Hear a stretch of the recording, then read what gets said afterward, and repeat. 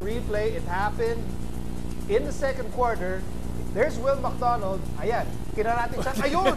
After mga 10 minutes, yun! Yung delayed reaction ni Mick Penisi. Hindi baka napuwing. Ewan ko, pinag-isipan mo na niya kung masakit o hindi eh. One, two, three. Pero, ano eh, alam mo, ibig, sab ibig sabihin talaga niyan, si Mick, bago siya may gawin, pinag-isipan niya na mabuti. Hindi, tsaka... Hindi siya padalos-dalos, di ba? Eh, tsaka, you know, at the end of the day, nakuha niya yung gusto niya. Di Na, ba? ano, natamaan ng bola sa ulo? Maswerte, maswerte pa nga si Pinisi.